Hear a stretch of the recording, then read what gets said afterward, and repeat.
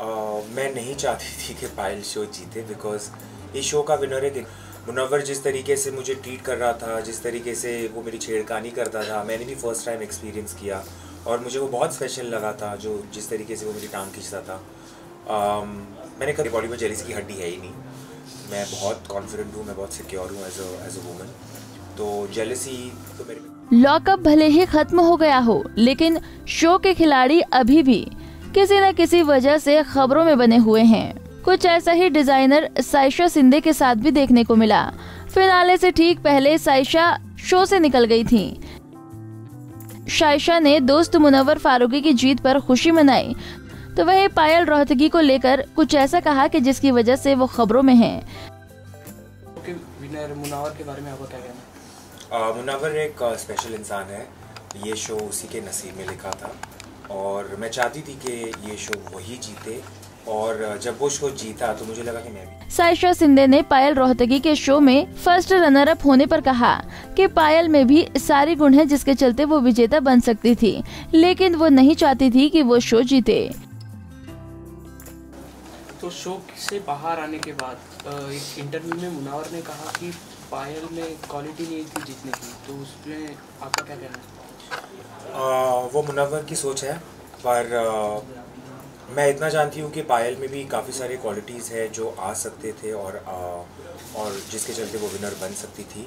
लेकिन आ, मैं नहीं चाहती थी कि पायल शो जीते बिकॉज़ इस शो का विनर एक इंस्पिरेशन होना चाहिए। इस शो का जो विनर है वो एक एग्ज़ाम्पल सेट करना चाहिए। जिस तरीके से पायल ने अपना गेम खेला था मुझे नहीं लगता कि वो किसी भी एंगल से इंस्पायरिंग है क्योंकि 20 कंटेस्टेंट्स में 20 कैदियों में अगर आपका एक भी दोस्त नहीं है तो वो बताता है कि आप कैसे हो।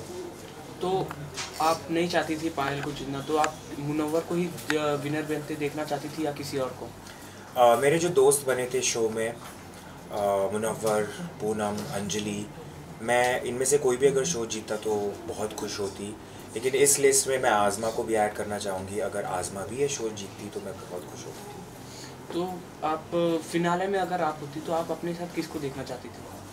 फिनाले में अगर मैं होती तो डेफिनेटली अगर मैं मुनवर के सामने जीतती तो ये बहुत मज़ा आता है। सो so, आप जब वापस अंदर आई तो आपने कहा कि मुनवर को आप सपोर्ट करने जा रही हो तो इस बात में कितनी सच्चाई थी?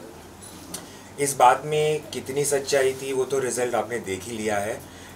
जिस तरीके से मुझे ट्रोल किया जा रहा था कि मैं शो में खुद के लिए ना जाके किसी और के लिए जा रही हूँ। अगर उस सब का सामना करके भी मैं जो मेरे दिल की बात है वो कर रही थी goes to show lot about me मैं चाहती थी कि मैं जितनी हो सके मेरी दोस्तों की हेल्प करूँ, ना सिर्फ़ मुनावर की बट पूनम की भी। इसलिए जब जो लास्ट अरीना टास्क हुआ था, मैंने ये भी कहा था कि आप प्लीज़ मुझे लॉकआउट कर दो और पूनम को रखो। क्योंकि मेरी लाइफ में मुझे पता है दोस्तों की अहमियत अहमियत क्या है। और मैं ये भी दिखाना चाहती थी कि रियलिटी शो में कुर्बानी नाम की भी एक चीज़ होनी चाहिए। और टिकट टू फिनाला टास्क में उस आपने, आपकी ये बोलने के बाद आप लोगों को अपने बारे में सोचना। इसके बारे में भी जनता काफ़ी बात कर रही है तो उसके बारे में आप क्या कहना चाहोगे? टिकट टू फिनाले का जो ब्रेक का टास्क था, वहाँ मैं अंजलि को सपोर्ट कर रही थी। और जो अंजलि ने चाहा मैंने किया तो तब तक मैं मुनवर की हेल्प कर रही थी।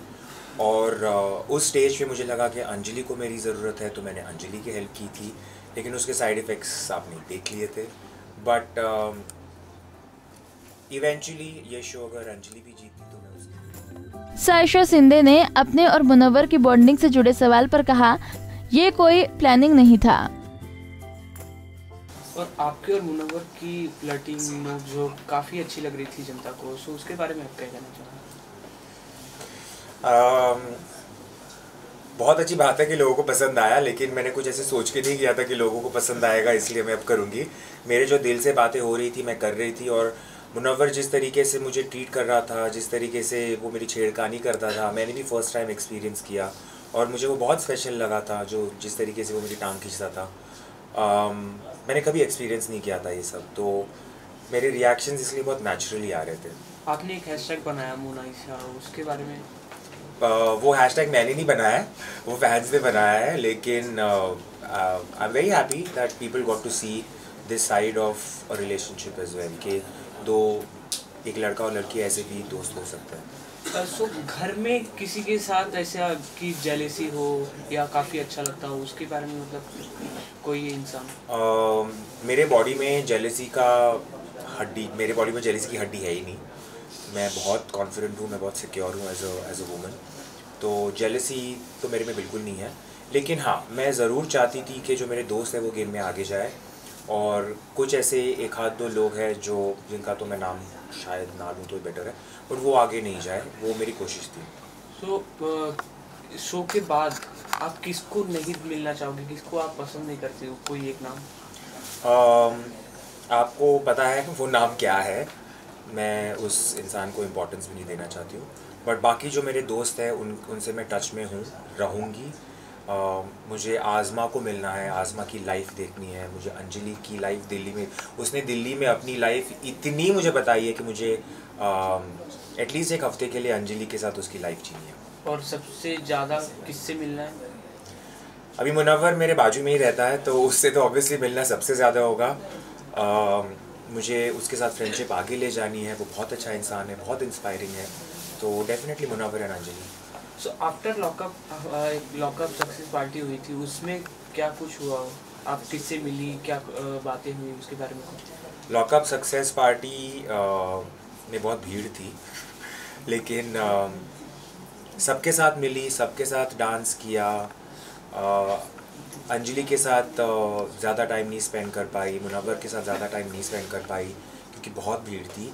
लेकिन जैसे मैंने कहा है for me Azma is the special one और मेन सबसे शो के जेलर और वार्डन के बारे में क्या कहना जेलर और वार्डन मेरी लाइफ में बहुत स्पेशल है स्पेशल रहेंगे।